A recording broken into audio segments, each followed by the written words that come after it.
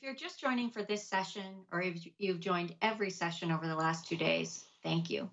We've heard from some incredible speakers during this summit on the importance of circularity and how companies can create an impact for all stakeholders. In this next session, we'll hear how crucial it is for companies to build the connection between their sustainability strategy and financial performance. At Ball Corporation, we couldn't agree more.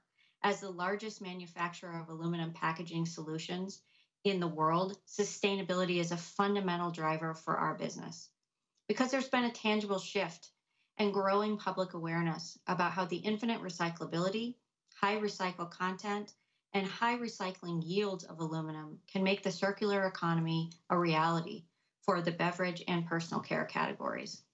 For us, sustainability is not a nice to do, and it's not a license to operate function. It's a growth engine that delivers real value to our customers who need to meet changing consumer expectations. People are waking up. They're realizing that we are impacting the planet in ways that are unhealthy. Brands are looking for solutions, and consumers are looking for someone to show a better way, to show that we can live more sustainably and still have a great experience in the process. So we're extremely excited about the opportunities we have to grow our business and to enable a shift to true circularity we feel a great sense of urgency to keep pushing ourselves and our packages to be even better.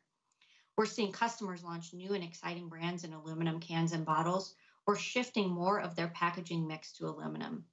And we've seen incredible momentum and excitement about the retail launch of our aluminum cup. This momentum indicates that we are working together to make true circularity a reality. We, as we've heard over the last two days, companies must take a leadership perspective when it comes to sustainable solutions. At Ball Corporation, we believe it's our responsibility to design and produce packaging solutions that are more sustainable and ultimately move us towards a circular economy. It's an extension of our belief that we are responsible for what we make, how we make it, and how we treat the people that we work and live with. So we'll continue to innovate. We'll continue to push towards real circularity as our CEO, John Hayes, discussed in the previous session, we mean that all material from a product is collected, it's sorted, it's made into a new product, and that product is of equal value. So we keep the material in the material loop and not downcycled.